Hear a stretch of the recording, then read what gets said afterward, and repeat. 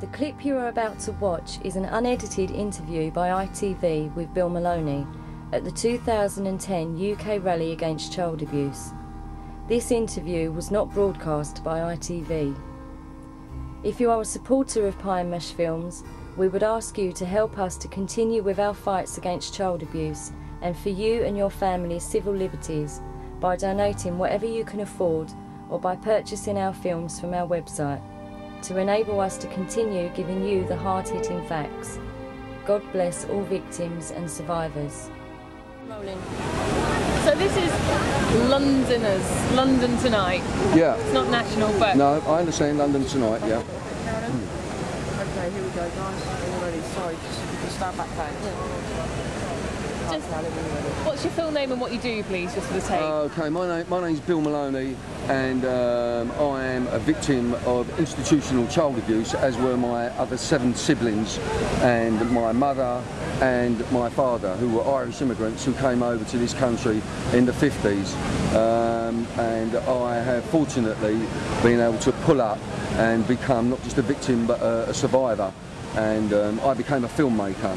Um, I was making dramatic films, and then um, I made a film, a documentary called Sun Seeing Satan, exposing fresh evidence on the island of Jersey, especially in a place, uh, a mental institution, just one minute's drive from Haut de la Garenne, a 600 bed mental institution that has never been investigated, where children were told at Haut de la Garenne if they didn't shut up about their child abuse allegations, they would be sent up to the nut house.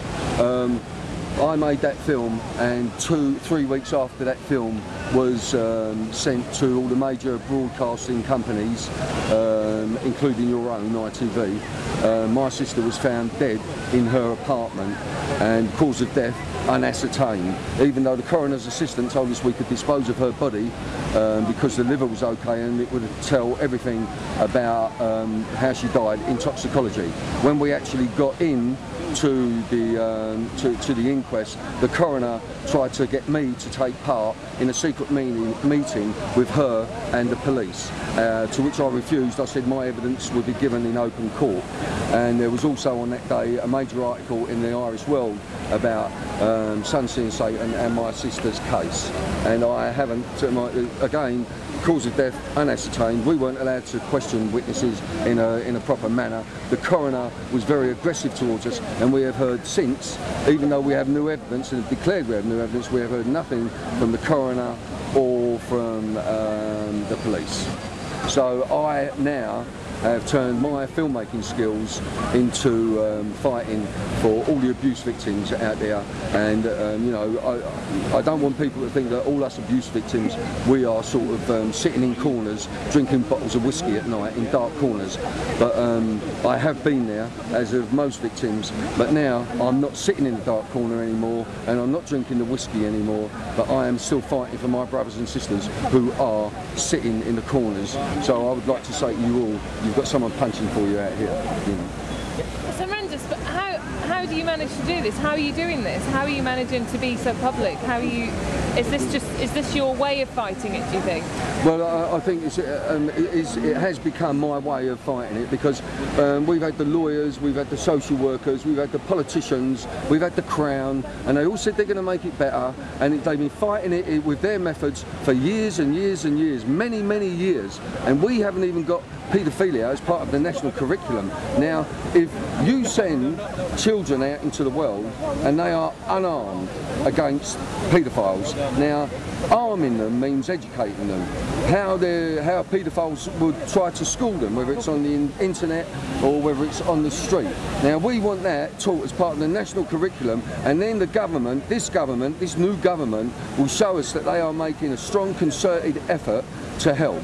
Now, Pie and Mash Films, we have um, invited over 600 members of Parliament to this rally today, and we have not had one email back from any of them. Every single member of Parliament has been invited to this child abuse rally.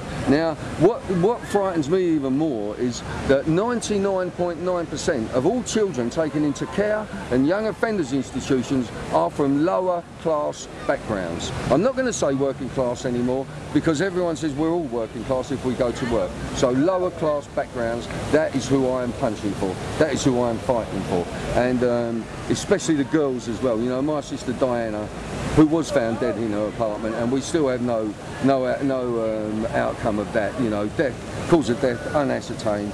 She was a freedom fighter. She was at Greenham Common, and um, she was part of a large movement.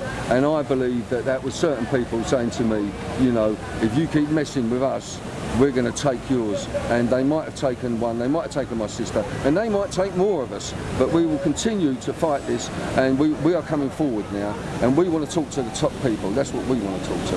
And um, there has been a headline.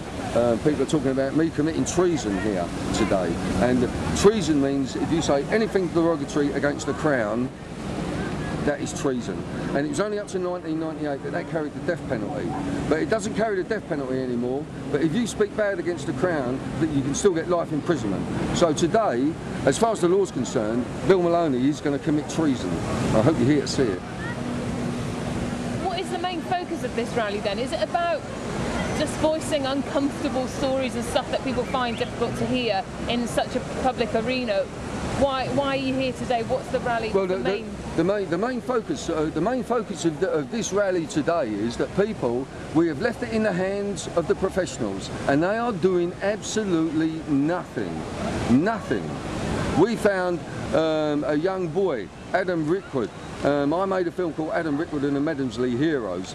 Now, Adam Rickwood was a, a young kid who, four years ago, he, um, he allegedly committed suicide in a place called Hassockfield, which was originally called Medomsley, which was a young offenders institution. Now, Adam Rickwood comes from a poverty-stricken background, and um, he was put into this uh, this uh, young offenders institution, even though all charges against him had been dropped. He was then assaulted, as we say, he was restrained, if you like, by guards. They used nose distraction and a double-seated embrace. Nose distraction is a blow to the nose, straight up to the nose, and is designed for pain. Um, Adam Rickwood, he was um, on suicide watch as well. After this assault, he was put into a cell and allegedly was found hanging by his own laces, bearing in mind if you're on suicide watch, they will take your laces off of you, your belt, etc., so you don't hang yourself. But they never done this to Adam. Even though Adam was getting the company Serco, private company Serco, um, £175,000 a year for just being in that young trainers institution. Um, and the, the, the, injuries that were found on him when he was found hanging was a broken nose and a broken wrist. And when they got to the first inquest, they went to the guards and they said, how did these horrific injuries happen? The guard said, we are awfully sorry, they are restraining techniques. So then after this outrageous unlawful assault, the kid has gone and hung himself while on suicide watch with his own laces. Doesn't make sense to us. So now we have a second inquest. And the, the second coroner, whose name is Friedman, because the first coroner didn't conduct the inquest correctly. So now Mr. Friedman, the second coroner, has been threatening and Mash Films, my company, that we should take down all reports, uh, um, whether it's the trailer, whether it's the film, about Adam Rickwood and the Medomsley Heroes. Um, we have offered to re-edit the film, but he's not taking part in that. So the guy is like, you know, started to threaten us. He, first it was a, an invitation to take it down, now it's a request, and next it will probably be a D notice. In that trailer, are they actors you've used, or have you done secret filming? No, I've, I've been fil I filmed Adam Rickwood's whole family, and what the coroner is peeved about we have eight members in that trailer of Adam Rickwood's families, and I asked them the quest, straight question, do you believe that Adam killed himself? And every single one of them says no. That is what the coroner said is going to prejudice his case. Even though all the information within this film is already in the public domain. Now Friedman is, as a coroner, is supposed to be independent, as was the coroner at my sister's inquest. Now, my, the, the coroner at my sister's inquest cleared the courtroom at one point and spoke to the police on their own in the court. Then she called me in and asked me to speak in front of the police. And I said, no, you are supposed to be independent. You've just allowed the police to talk on their own to you with no one else present. And I just wish you to show me the same courtesy that you've shown them. Get rid of the police, madam, and I will tell you everything. Or it will be in an open court. Now, I am really seriously concerned about our democracy and the way it is going. Last year, the Justice Secretary, Jack Straw, it pushed through a law that has now made it illegal for any child that is being abused in any institutions, it is illegal for that child to put it into the public domain. We also have foster care in homes. Now foster carers, um, we've got private fostering homes where they will give you a child and, and how they advertise it is, how they advertise it is, have you got a spare room? If you've got a spare room, why not foster a child? So, um, what's happening up there? It's fucking me, it's putting me off. Oh, down Sorry, hang on a sec, mate. Yeah. Hey chaps, just two minutes, okay? It's for the whole thing, alright? So Where was we? Where was we? Anyone got that? basically, fight is against institutionalised child abuse. I'm, I am only, I am only interested, me personally, I am only interested in my fight against institutional child abuse. And the story of Hollie Greig, you've only got to, you've only got to look at the story of Hollie Greig and uh, start to understand exactly what is happening in this country. And this country is going to make its people so ashamed of our treatment against kids in care and young offenders. Now, there's a lot of young offenders, you know, oh, so what, they're young offenders, they deserve it. Bring back the birch. We are actually getting people to say, bring back the birch. Now, that is out of date, antiquated. There, there is no cure for paedophilia. There is no cure for paedophilia. It doesn't matter. Oh, we we're going to bring them in and we're going to try and we're going to try and counsel them. We'll get the. Well, that's fine. If you want to try and cure the paedophiles, take them away and cure them. But don't bring them back to us until you know that they are cured, because this planet is being ruined, ruined by these people because it affects the whole structure of the planet. Now, the future keepers of this planet are the children. And if we are abusing them psychologically, sexually, physically, in every manner that we know what, that, we- that we can think of, and even involving them in sadomasochistic torture, what is going to happen to this planet? The children are the future. And as I say again, I am an abuse victim. And every form of abuse that was available, I got it. But I'm strong now. And I'm fighting for these people. And I will spend the rest of my life fighting for this until we stop it. And if we can stop it, let's let's put our own house in order. And we put our own in house, house in order, then we can stop it. But nobody wants to talk about paedophilia in this country, especially the judges, Tony Blair's, etc. And I was ejected from um, David Dimbleby's question time after the first leaders debate, as David Dimbleby told all us in the audience, a moment of history. And it was a moment of history. And I wanted to ask, what the politicians that was there, Gove was one of them, what are you guys going to do about institutional paedophile rings that are operating in this country now? That's, that was the question that got me ejected from question time.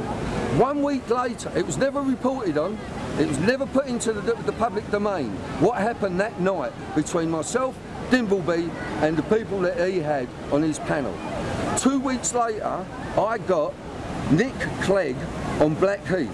I asked him exactly the same question, and he said to me, I don't understand what you mean by institutional paedophile rings.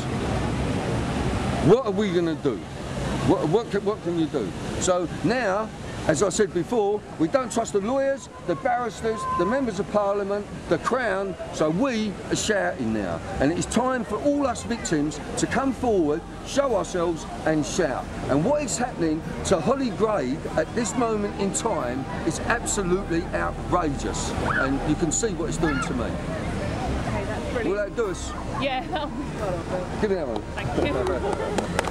Well done, Bill. Well done, Bill. I'm, I'm, I'm not.